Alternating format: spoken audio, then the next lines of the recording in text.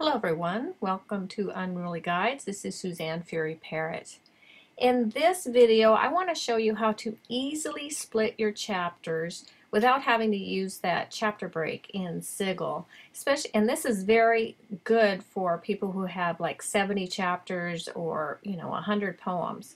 And so to do this you would open your file in Sigil. Now I'm just using the example file that we have in our kit and you can see that it has the cover page, it has the copyright page, table of contents, acknowledgments, and about Mark Twain.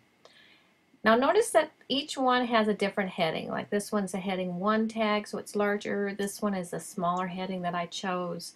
Um, the copyright page doesn't have a heading at all. So before I would have you go to the code, go to between the paragraph tag and of the ending paragraph and the new heading and do the split, which is up here at chapter break. But a much easier way, especially for long chapters, is to simply place your cursor in front of the new chapter. So we want the cover page on its own page up here. So we want name of your book, which is the copyright page, on its own. So what you do is you put your cursor in front of there and you go under Insert SGF Chapter Break or Chapter Marker. Now it will look like a horizontal rule, which is exactly what it is. Now you can scroll down to Table of Contents and do the same thing. Insert a chapter marker. Now if you have 70 chapters, you don't want to go through and do them all.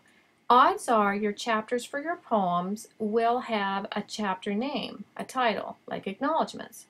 So what I'm going to do is show you what the chapter marker looks like first. So I'm going to highlight it so I can see it.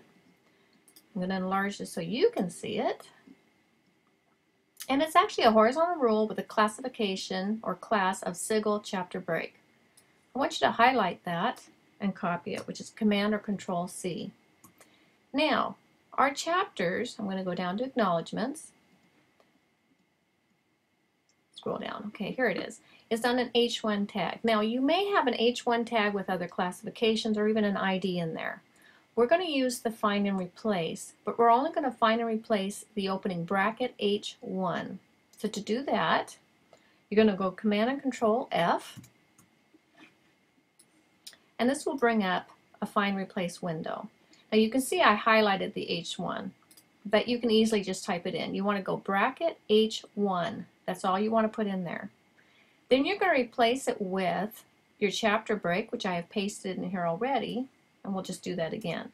You would go Command or Control V, and it would paste in what I had highlighted. And then at the end, I'm going to just put a small space, and I'm going to type H1, bracket H1, because I want to replace, I don't want to remove it, I want to replace it. So now it's in the current file, because all your chapters should be here, and you're going to go replace all. Now it says it did it two times. Now sometimes you might have to go again. So I always just do it again, replace all. Now, what you want to make sure is you didn't do it twice in some of the chapters. So I'm going to scroll back down.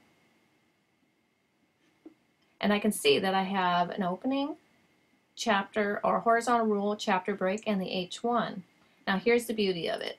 You can go back, you can scroll, and you can look got a horizontal rule, horizontal rule, another one, and another one. So you've got them all in place. Here's the fun part. Go to Tools, go to Split on SGF Chapter Markers. And look what it did on the left. It split every single one of your pages for you. All you have to do now is rename them. So that is a very easy way to, to split a very large file that has a ton of chapters. And this is really good for poetry, nonfiction books. Um, so if you have any questions, just visit me on Unruly Guides. This is going to be also in our kit. We're coming out with version 3.0 at the end of January 2012. Good formatting. Thanks for stopping by, and I'll see you soon. Bye.